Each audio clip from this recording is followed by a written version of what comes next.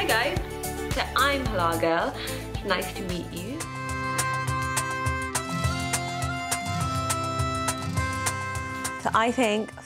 मेरा ख्याल है अब तक मैं 300 रेस्टोरेंट्स के रिव्यूज़ कर चुकी हूँ या शायद और ज़्यादा।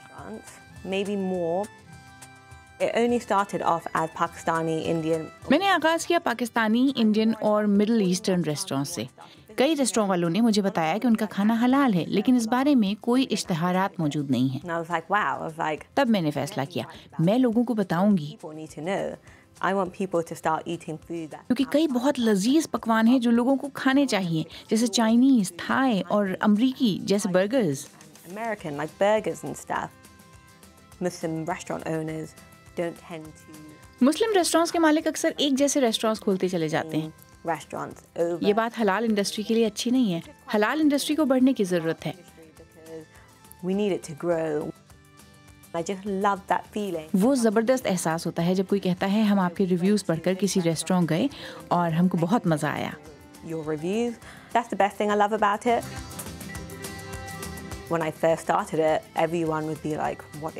जब मैंने शुरू किया सबने यही कहा ये क्या है? सात साल बाद भी कुछ लोग हैं जो मुझे बताते हैं कि तुम एक माँ हो सिर्फ़ बच्चे पर ध्यान दो। मैं कहती हूँ बिल्कुल नहीं। Like, no, what मैं तस्वुर भी नहीं कर सकती हूँ मेरे शोहर के सपोर्ट के बगैर क्या होता? ढीठ हो जाओ। जो काम शुरू किया है इसे अच्छी तरह करो।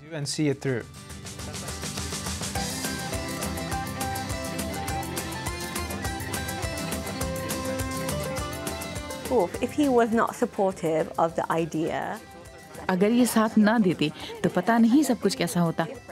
शायद हलाल गर्ल को इतनी कामयाबी नहीं मिल पाती।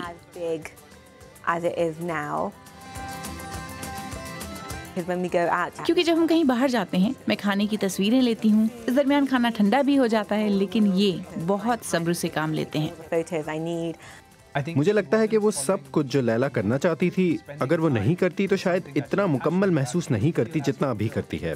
अगर लैला की ज़िंदगी का वाहिद महवर मैं होता तो मुझ पर बहुत दबाव होता। अपने जुनून के लिए वक्त ना निकाल पाना सही नहीं है। Yeah, yeah, बिल्कुल मेरा ख्याल है घर और काम के दरमियान तोज़ुन ज़रूरी है।